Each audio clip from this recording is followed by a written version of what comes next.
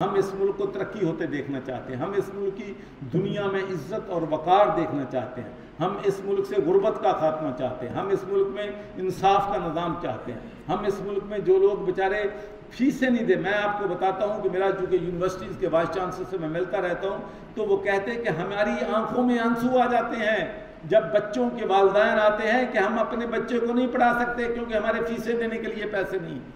ऐसे माँ बाप हैं जिनके बच्चों के लिए कपड़े खरीदने के लिए पैसे नहीं हैं, उनके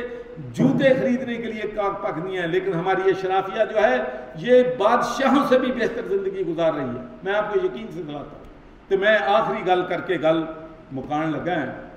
कि मैं एक गल बड़े दुख तो तकलीफ़ ना कहना है कि उत्थे भी क्या सी, मैं क्या तुसी ओवरसीज़ पाकिस्तानी, माशाल्लाह, जितना बेहतरीन उत्थे हर field education health politics profession माशाल्लाह हाई बुलंदियों पे हैं हज़ारों नहीं लाखों लोगों को अंग्रेज़ों को हमारे लोगों ने जॉब दिए तो मैंने वहाँ से कहा था कि अगर तुसी पाकिस्तान छः या एक साल वास्ते ओवरसीज़ पाकिस्तानियों की टीम इतने लै आओ ਜਿਹੜੇ हर फील्ड मौजूद ने तो इस मुल्क ਨੂੰ ठीक कर सकते इस मुल्क ਨੂੰ ठीक करना तो यह तरीका है तो जे अमरीका तो बरतानिया ਨੂੰ खराब करना है ਤੇ ਸਾਡੇ ਮੁਲਕ ਦੇ ਹੁਕਮਰਾਨਾਂ ਨੂੰ ਇੱਕ ਸਾਲ ਲਈ ਉੱਥੇ ਲੈ ਜਾਓ, ਜੇ ਉਹਦਾ ਬੇੜਾ ਗਰਕ ਨਾ ਕਰ ਦੇਣ, ਉਹਨਾਂ ਮੁਲਕਾਂ ਦਾ ਵੀ ਮੈਨੂੰ ਫੜ ਸਕਦਾ